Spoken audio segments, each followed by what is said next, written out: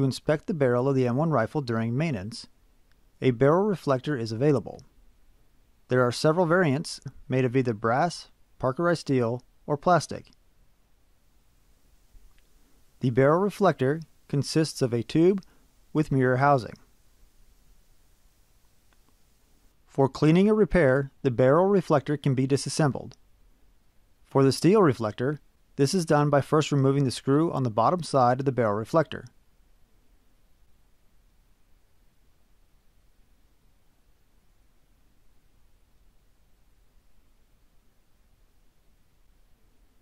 The back plate can then be removed and the mirror taken out. Assembly is the reverse of disassembly.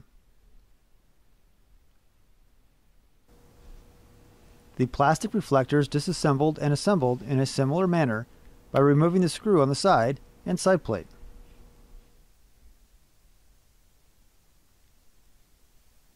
With the shorter barrel reflector, the bolt can simply be locked back and then the barrel reflector can be inserted into the chamber of the rifle. Do not use excessive force in doing this.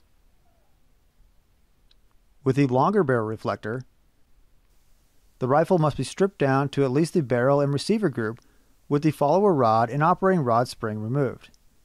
This removes spring tension from the follower and allows it to be moved out of the way. This disassembly is covered in the field strip training film.